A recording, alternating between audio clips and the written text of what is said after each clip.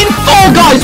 So of course I convinced my mates Bethune, Jeremy, and to join me in Fall Guys. The format of Fall Guys is quite similar to a lot of games. It is simply an amalgamation of mini games designed to cause you as much emotional pain as possible.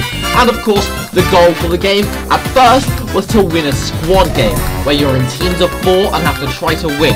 And how do you win? By being the last one remaining! So the first mini game was this scuffed rolling thing, where all the different coloured platforms would move in opposite directions to each other, and they'd be littered with obstacles such as walls, gaps to fall through, and hammers, and yeah, walls! Honestly, I should have survived there, but one unfortunate difficulty of squads is that you have to rely on the performance of your teammates, which considering most of us had only owned the game for about 5 minutes, was not very reliable. So we ended up being eliminated right away, and our next squad's game didn't go any better either, as this was the doors minigame, where these chaps somehow knew every door to go through. There must be some algorithm they analysed or something, but because everyone arrived at pretty much the same time, the amount of points we got was quite limited.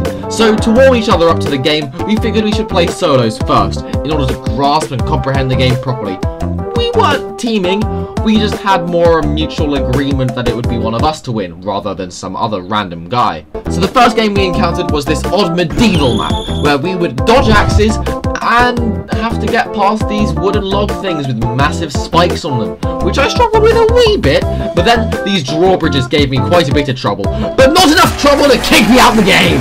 And turns out, I was actually the last of our squad to make it in, which meant that all four of us had not only survived the first round, but would actually live to see the second one, which was this matching game, where the fruits on each platform would flash up randomly, and would have to stand on the correct fruit shown on these screens, or else we'd complete the game's name and truly become a fall guy.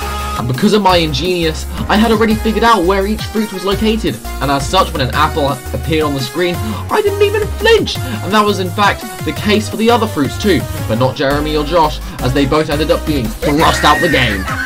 It was just myself and Bethune left, to carry out our team's hopes of winning on our back! For the OGs who saw my Hypixel Party Games video, this game is simply that cannonball game, except instead of blowing you up, the massive items just flipping knock you off the map! Fortunately, this was a game where both Bethune and I survived, so our team's hopes were still alive with us, and to end it all off, a game of Minecraft Spleef. This was it, the finale, and our last hope at winning these games for our teams. I instilled a tactic of jumping on each individual platform, which worked well, um, until it didn't. Uh, it's fine, right? There's still a handful of platforms left. Oh yeah, it's so great until it isn't. We had disappointed our team, both of us, as neither of us had won, so our team had to redeem ourselves. The next round that we tackled was this funky obstacle course, where you had to go around these spinny things and dodge these balls. What's down there? I don't know! Because I never fell down there, and I am not a fall guy, even though I did just fall there. But despite that, both Bethune and I got first and second, with Jeremy coming up in fourth and we don't talk about him. So our squad had finally been able to make it past the first round, and after letting the random wheel of minigames select the rolling game again, all of us had flashbacks to the squad games. However, what we forgot is that our points weren't bound to each other anymore, and as such we all stormed ahead as fast as we could. And look at this, I was able to avoid all the previous screw-ups I had on this map, and ended up scoring first and second place with Bethune again. And where did... No! And Jeremy snatched up 10th place soon after. Making it pretty far in the Fall Guys, and that would continue in this fan map, where you had to run around this ring and hope that this fan thing didn't knock you off, a game which I struggled with quite a bit, but still qualified. As for my mates, yeah, they're here too. So now we made it to the semi-finals, where you had to guess what on earth these block things were.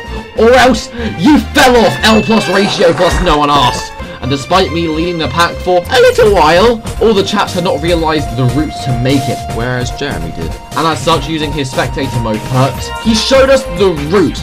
Jeremy and I made it in, but even better, is now blooming dead. So three out of four of us had made it to the grand finale, where you had to climb this mountain, avoiding all the obstacles we had previously encountered. This included the balls, the hammers, the walls, but as you can clearly see, I was leading the pack, but so was Jeremy, and we both missed at the end! But don't worry, our squad would still end up winning, as Bethune didn't miss! We had won a game on Fall Guys. Well, the crowd didn't show show it, but we ignore that. Spiritually, we had won a game of Fall Guys, and I must say, this game was far more fun than I first expected. Like and subscribe, chaps, or else you'll fall off L plus ratio plus no one asked.